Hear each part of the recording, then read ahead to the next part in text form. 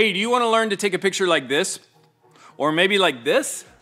It all starts with understanding the basics of shutter speed and how shutter speed either makes or breaks images like these, and it starts right now.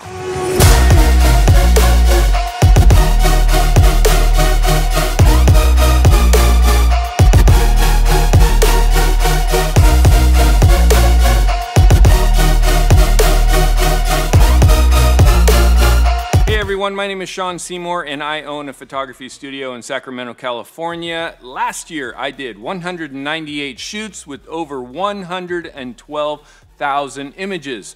Woohoo! And I can tell you that although it seems basic, shutter speed is something you have to have dialed if you want to take great photos and great video. If to date your pictures have been so-so or you're getting frustrated with hunting and pecking around the settings of your camera, no worries. In this tutorial, I'm gonna cover shutter speed, and by the end of this video, you'll have the basics locked and understand the magic behind creating some of these cool looking images. And I'll explain how shutter speed works for both photography, which we've talked about, and basic videography. So stick around till the end of this video where I give you a tip about what shutter speed to use for your specific frame rate. This is referring to video. And why you can't use a faster shutter speed even though you may want to knock down the light on those bright sunny days. Actually, it took me a while to get my hands wrapped around the concept because in photography, you can cut down the light by increasing your shutter speed. Not so with video. I'll give you a simple explanation and a guideline to follow. Before you know it, you're gonna be making cinematic videos like a pro. Well, a pro-ish. Hey, before we start, I'd appreciate it if you would please punch the lights out on that like button down below in the description box. That tells YouTube that they should show this video to other people. I'm gonna ask you one more thing, and that is to share this video with your friends, and not just your photographer friends. Since the advent of the smartphone, we all are taking photographs and video, and who doesn't wanna make those better? Is it just me or is that moving? No, it's me. I'm tripping out on this. That's weird. I never had that happen before. Let me ask you, have you ever wondered what it takes to freeze an athlete in motion or to create an image that has buttery smooth water flowing back into the ocean? Guess what? It's all about shutter speed. Basics of shutter speed boil down to two things. One, your camera's a mechanical shutter, which is like a set of curtains or blinds on your window at home. We open the curtains to allow light into a room, and we close the curtains to make it dark. Your camera's shutter does the same thing.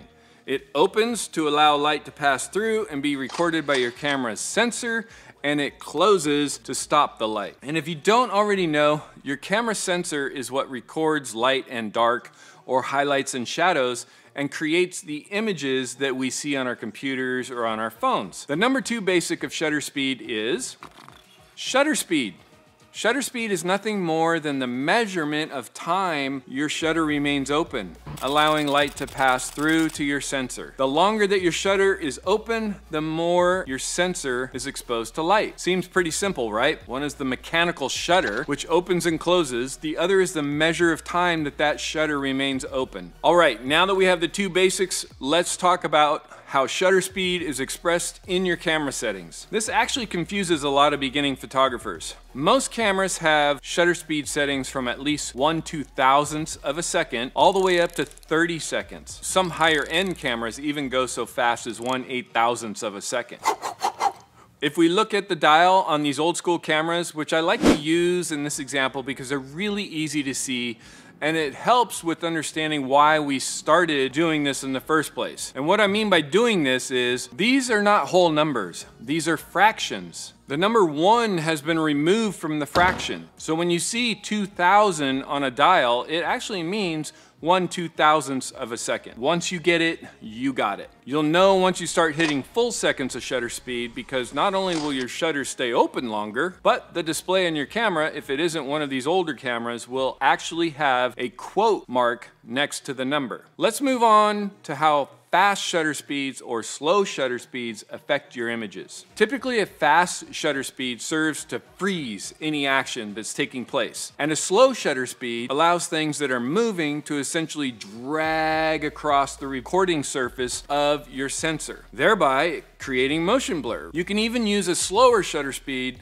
to completely remove non-stationary things from a scene Think busy town square in Europe with lots of people walking around and all you want is an image of the town square with no people. One of the ways you can do this is to use a really slow shutter speed. Leave your shutter open until everyone has moved around a bit. This will essentially remove all of the non-stationary distractions from the scene. As a matter of fact, I'll probably do a whole separate tutorial on just this one subject. I won't cover how you're gonna have to run through the square like a crazy person to get everyone to move who hasn't moved in a few seconds, but that's for another day. To help illustrate what I mean by freezing action versus creating a blur, let's use these next few images of Skittles being poured into a bowl as an example. Starting out with this picture, you'll see that these Skittles are essentially frozen with a shutter speed of 1 12 50th of a second, 1,250th of a second. There's still a little bit of motion blur, but not enough to really get upset about. I need to qualify this a little bit and let you know that Skittles falling into a bowl are actually moving really fast. So 1 1250th of a second is pretty quick to shoot things like some sports, but probably not fast enough to freeze things like falling Skittles or falling water or a swimmer swimming through the water with droplets of water splashing all around in the air. I would personally want to try and bump my shutter speed up to at least one two thousandths of a second in order to completely freeze these Skittles or water in the air or whatever. Let's look at these Skittles at one one thousandths of a second. Notice there is a little bit more motion blur, but in my opinion, you've got to be faster than that if you want your image to be super, super crisp. And this is showing you why I think that. Falling Skittles still have motion blur. This next picture is 1 500th of a second, and you can definitely see that we're beginning to get some true blur in the falling Skittles. The Skittles that have already landed in the bowl and aren't moving that fast look frozen. So that's what most people think is going to be an acceptable speed to freeze action, but it really takes more than that if you want to freeze action completely. So depending on what you're shooting, this may be a sweet spot okay, 500th of a second between fast enough and having enough light for proper exposure. Now we're moving on to the image of one 1 25th of a second and you can see that's very blurry. If I were trying to freeze action, this probably would not be an image that would be acceptable. Our last image is at one fourth of a second, and now our blur has become this sort of cool river of flowing color. We're starting to venture into being creative with our shutter speed. Kind of cool, huh? Here's a good rule of thumb for how fast your shutter speed should be if you're going to hand hold the camera. Typically you want your shutter speed to be one over the focal length of your lens, and that's just the size of your lens. So if you don't know what the focal length is, more common terms is the size. So if I have a 50 millimeter lens, that's my focal length. If I have a 50 millimeter lens, I would want to shoot at 1 50th of a second. If I have a 200 millimeter lens, 200th of a second and so on. Personally, this is just a ballpark figure, ballpark area because we have in-camera stabilization, lens stabilization. So you kind of just follow this rule as a starting point, but it doesn't necessarily have to be hard and fast. I break this rule all the time, and sometimes I get away with it and sometimes I don't. But it's a good place to start. Okay, here's a few more examples of how fast to slow shutter speeds work. My nephew Asa was good enough to help me out by jumping off of these sand dunes in Oregon. In this first photograph, I froze him midair with a shutter speed of 1 1600th of a second. You can see that he's basically static and there's very little motion blur even though he's falling to the ground. This is why I try to get at least 1 16th to 1 2000th of a second anytime I'm doing outdoor sports photography or I want to freeze something. I guess a running dog would qualify for that same category even though I don't have a dog and I don't want a dog. In this second picture, my shutter speed was 1 1250th of a second or 1250th of a second and he still looks pretty clear but we're starting to see some motion blur in the image. At least I caught the action which is more important than having just a little bit of motion blur. In this third picture, my shutter speed is 1 15th of a second. If I was trying to freeze sports action, this would definitely not be an acceptable image. However, there is a place in photography for this style of image and for this shutter speed, which I'll explain in just a minute using another image. Okay, this last image is taken with a shutter speed of one second. And you can see that we've almost completely removed Asa from the image. There's just a slight blur from where he went through the frame while the shutter was open. But if I wanted to, I could completely remove him from the scene and I probably could have taken the shutter speed down to two seconds and you would not see him at all and you wouldn't see that blur. Remember earlier when I was mentioning that you can use shutter speed to remove a non-stationary item from your image? This is what I was talking about. If you're able to leave the shutter speed open long enough for the non-stationary distractions in a scene to move out of the scene, then without Photoshop or any other editing tools, you can completely remove those distractions from your image. Of course, this introduces challenges of its own, like letting in a huge amount of light into the camera. This is something I'll definitely do a deep dive on in another tutorial, probably some night photography, some light streaks, and some other stuff. If you haven't yet, click the subscribe button below in the description box. That will keep you up to date when I have other tutorials that I upload to YouTube. Kind of cool, huh? The last thing I want to touch on about shutter speed is you as the photographer can introduce camera movement which can cause your images to look blurry or soft, believe it or not.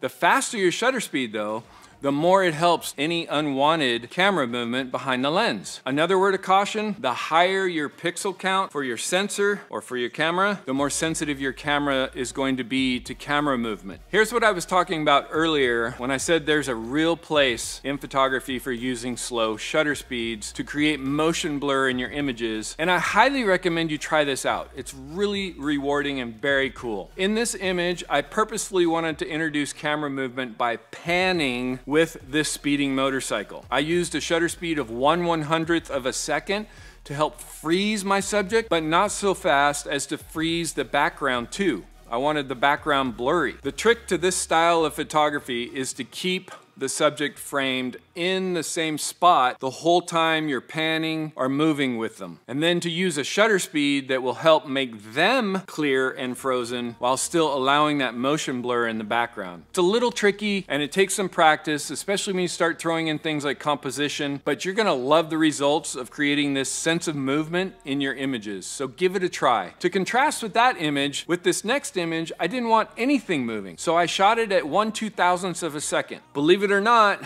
1 two thousandths of a second might have been a little bit slow for these guys. what I wanted to capture was the expression on the motorcyclist's face as they came through the corner. And to do that, there was no way I could have any blurriness or any movement in the image at all. I was literally shooting for the whites of their eyes. So one two thousandths of a second was like a bare minimum, and that got me there as far as shutter speed is concerned. And all I had to do was make sure that my focus was dialed really, really well. We're talking Boom, matter of inches. All right, at the beginning of this video, I promised to cover shutter speed as it relates to basic videography. The cool thing is that once you understand the mechanics of shutter speed, applying it to understanding videos is not as difficult as it was for me originally, at least not in the amateur world of video that I live in. So we just talked about how fast shutter speeds freeze things and how slow shutter speeds can allow a slight blur. Well, in the world of video, it's the same thing. The difference is, is we actually want to have a slight blur in each frame to give it a more cinematic look. To do that, you're going to set your frame rate first and then set your shutter speed to match. Also, you're typically not going to adjust your shutter speed for various lighting conditions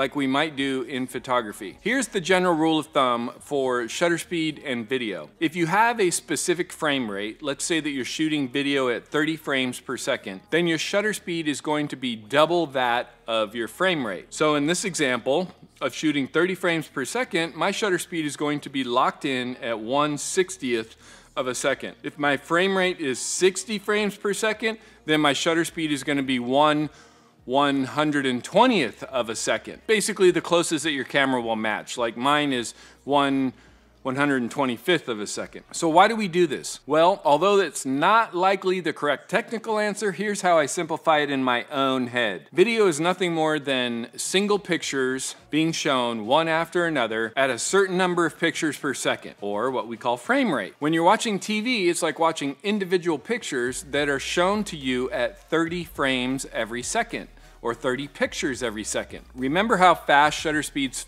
freeze things in motion and slower shutter speeds allow some blur. Well, in video, we actually want a slight blur to each of those single frames so that it doesn't look digitalized, but instead looks more cinematic with a nice smoothness. And we do that by frame to frame, there's a little bit of blur. If we use a fast shutter speed, what happens is every single image in that video is crisp crisp, crisp, from frame to frame to frame without any slight blur to help it blend into the next frame. That causes this weird digital effect which your eye actually picks up on. See how this video of these falling Skittles has that weird digital effect? Now look at them when we reduce the shutter down to twice that of the frame rate. So in this situation, I'm shooting 1 50th of a shutter speed for a 24 frames per second frame rate. And you'll notice because there's a slight blur to each frame that it's much smoother, much more cinematic.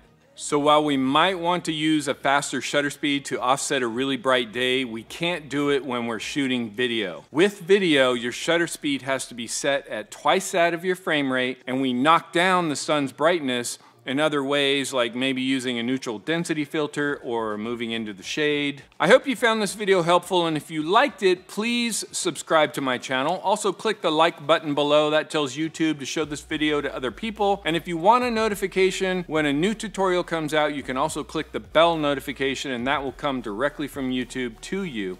Any questions or comments, please leave those in the comment section down below. And until we see each other on the next video, keep it simple, my friend. Bye.